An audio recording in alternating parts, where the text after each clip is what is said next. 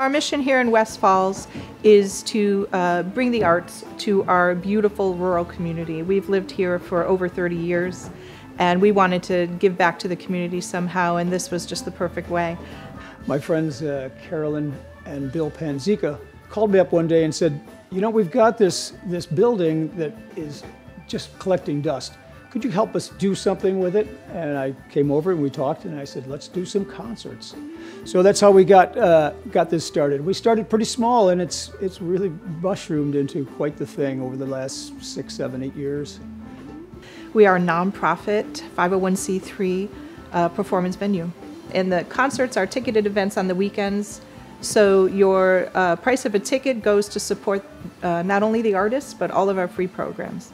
We have free music lessons for veterans. We have a Musical Memories Cafe twice a month, uh, which is a free concert and lunch for caregivers and their loved ones. We have a free kids jam where professional musicians get together with kids twice a month. Your ticket here will support the artists and all of our free programs. We are all volunteers here.